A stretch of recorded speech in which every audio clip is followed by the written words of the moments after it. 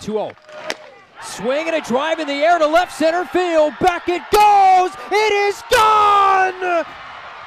A walk-off grand slam for Emily Wilkie. And a walk-it-off Wednesday